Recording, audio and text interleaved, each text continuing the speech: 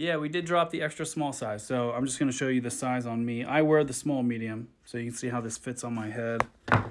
Basically, this has a smaller circumference and then it is less tall. So this hat definitely is super small on me. It doesn't fit, which is, you know, by design. So you can see I'm getting into the snaps. It's super small compared to the one I actually wear. Um, it's going to be available in the Rise and Grind in black. It's available in the Max Out black, which that's this style. This is the Max Out. And then it's going to be available in the Senna in black.